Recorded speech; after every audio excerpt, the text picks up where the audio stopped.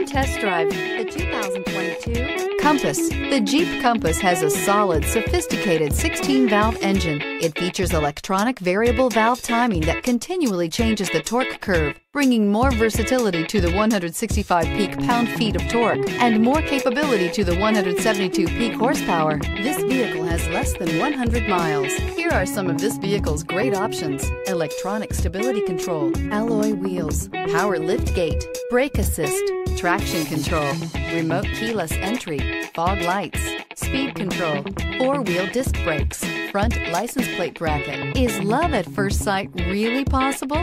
Let us know when you stop in.